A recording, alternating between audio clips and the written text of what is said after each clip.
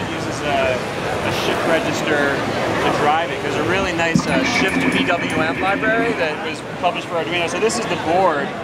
It has eight MOSFETs, uh -huh. outputs here, and then there's just a 595 shift register, and I drive it so I, I get these are screw. These are for screw terminals, um, so I can basically daisy chain these, and I feed it every byte. I feed it is one board.